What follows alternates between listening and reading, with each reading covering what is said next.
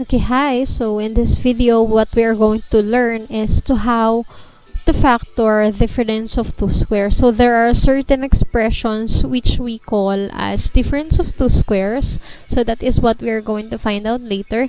And then there is also a shortcut or shorter way on how to identify the factors of this kind of expression. So we will also deal with that one later on. Okay, so the first thing we need to know is how does a difference of two squares look like. And here is the general form of difference of two squares. So we have a squared minus b squared. So this general form wants to tell us that difference of two squares must be a binomial. When we say binomial, there must be two terms only. Okay, and then those two terms must be both perfect squares.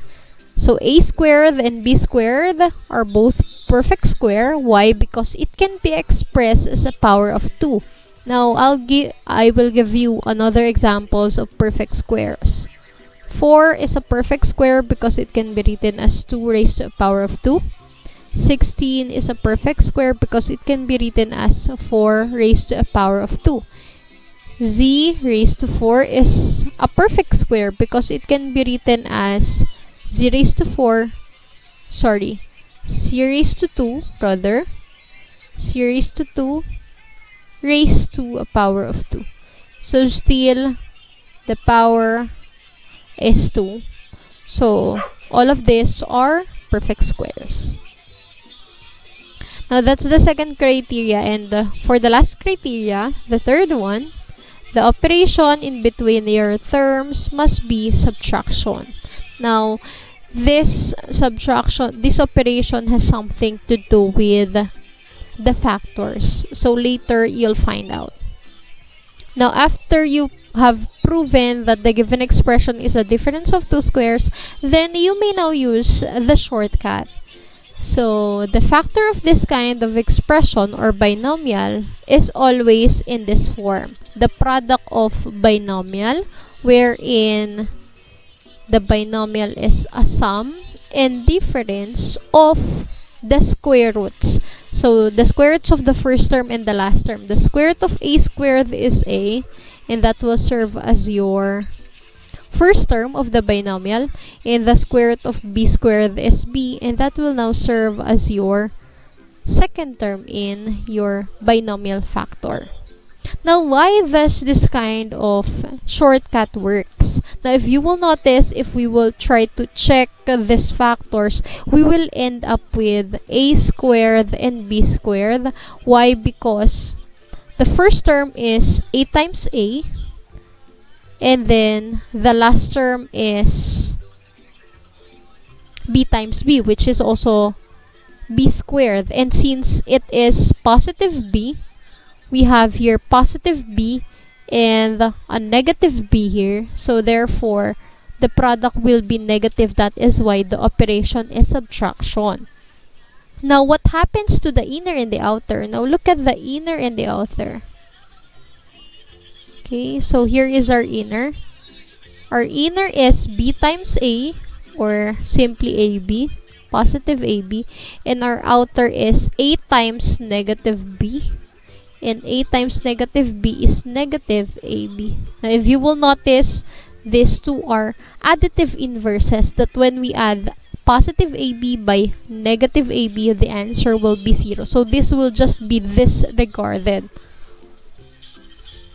So, in short, we are just considering the last, the first terms and the last terms, which is simply the square of the first term and the last term of the binomial factor. Okay, so I hope we're clear on that.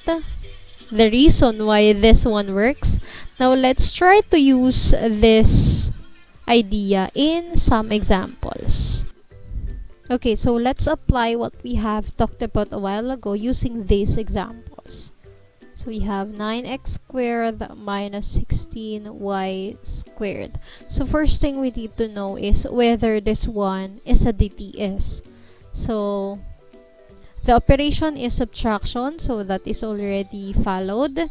and there are two terms and so therefore it is a binomial now for the last criterion so the terms must be perfect squares so let's prove that one by expressing each term in a power of 2 so 9x squared it can be expressed as the square root of 9 is 3 the square root of x squared is x so therefore it can be expressed as 3x raised to a power of 2 minus 16y squared let's find out the square roots if there are.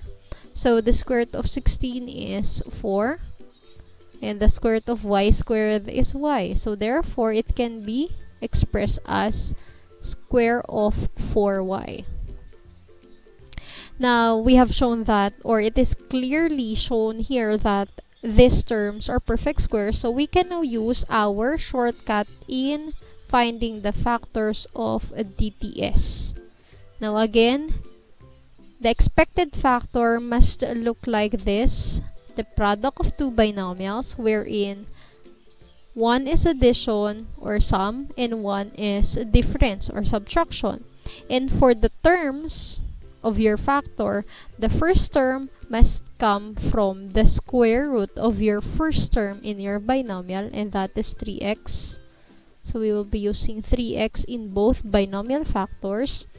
And then for the second term, it must be the square root which is 4y. The square root of the second term of your given binomial and that is 4y. So 3x plus 4y and then 3x minus 4y. Now, if you want to check, yes, you may still, and to double check, this one will be already cancelled out because this will just be positive 12xy 12xy and then the other one is negative 12xy so at the end we will still be having the first times the first using the FOIL method which is 9x squared and then the last times the last which is negative 16y squared. And we will be having 9x squared minus 16y squared. Okay so that's for our first example. Let's have another one Okay, so for our second example, we have 81 z raised to 4 minus 64 x squared. Again, check whether this one is a DTS. So there are two terms, so it is a binomial, correct? And then the operation is subtraction so it also it already followed our second criteria. And uh, for the third criterion um the terms must be perfect squares. So let's express it as a power of 2 to prove that these are perfect squares. So the square root of 81 is 9 and for the square root of z raised to 4 I, I actually gave this as an example a while ago in perfect squares so the perfect, uh, the square root of z raised to 4 is z squared. So it can be written as quantity 9z squared raised to a power of 2 rather. Okay? And then minus for 64x squared, so get the square root of 64, that is 8. And then square root of x squared, that is simply x. And then quantity of 8x raised to a power of 2. And if you want to check, then follow the law of exponent. 9 squared is, or 9 raised to a power of 2 is 81. Check. And then z squared raised to a power of 2, that will be, or that will give us z raised to 4. Then for this one, 8 raised to a power of 2 that is 64 and then x raised to a power of 2 that is x squared. So our expression or our form is correct. Okay now let's use this information in order to get the factors. So again since this one is now proven to be DTS so therefore the binomial factors must be the sum So it must be the sum and difference of the square roots. So the square roots are 9z squared for the first term and then 8x for the second term.